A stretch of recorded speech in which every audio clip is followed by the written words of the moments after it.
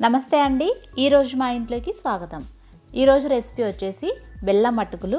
ఈ బెల్లం అటుకులు మనం అమ్మవారికి నైవేద్యంగా సమర్పించవచ్చండి. చాలా టేస్టీగా ఉంటుంది. చాలా సింపుల్ కూడా చేసుకోవడం చాలా క్విక్గా అయిపోతుంది ప్రాసెస్ కూడా. లేట్ చేయకుండా బెల్లం అటుకులు రెసిపీ ఎలా చేయాలో చూసేద్దాం.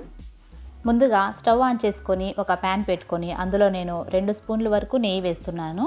నెయ్యి కరిగిన తర్వాత ఇందులో కొన్ని జీడిపప్పులు బాదం పప్పులు తర్వాత ఎండు ద్రాక్ష వేస్తున్నాను. ఇవి లైట్ గోల్డెన్ బ్రౌన్ కలర్ వచ్చే వరకు వేపుకోవాలి. అలాగే ఎండు ద్రాక్ష బలూన్ లాగా ఉబికిన తర్వాత ఇవన్నీ తీసేసుకొని ఒక గిన్నెలో వేసేసుకొని పక్కన పెట్టేసుకోవాలి. తర్వాత ఇదే ప్యాన్లో ఈ మిగిలిన నెయ్యిలో నేను ఒక కప్పు అటుకులు వేస్తున్నానండి.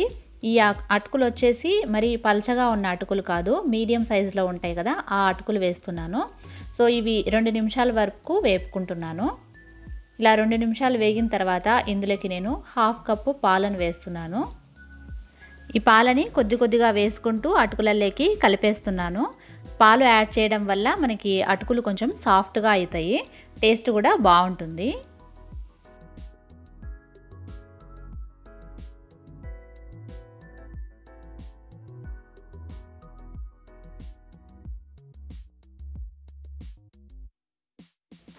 పాలు వేసుకొని కలుపుకున్న తర్వాత ఇందులోకి నేను హాఫ్ కప్పు బెల్లం తురుము వేస్తున్నాను.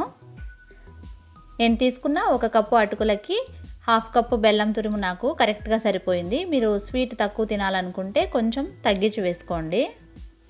బెల్లం కరిగిపోయి దగ్గర పడిన తర్వాత ఇందులోకి ఒక మూడు యాలకులు కొట్టి పొడి వేసేసుకోండి. మంచి ఫ్లేవర్ ఉంటుంది. చివరిగా మనం ముందుగా వేయించి పెట్టుకున్న జీడిపప్పు ఎండు ద్రాక్షాలను కూడా ఇందులో వేసేసుకోండి.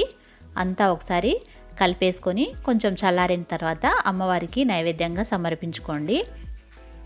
అంతే ఫ్రెండ్స్ ఎంతో ఈజీగా బెల్లం అటుకులు రెడీ అయిపోయింది. చాలా టేస్ట్గా ఉంటుంది డిఫరెంట్ టెక్స్చర్ డిఫరెంట్ టేస్ట్ చాలా బాగుంటుంది.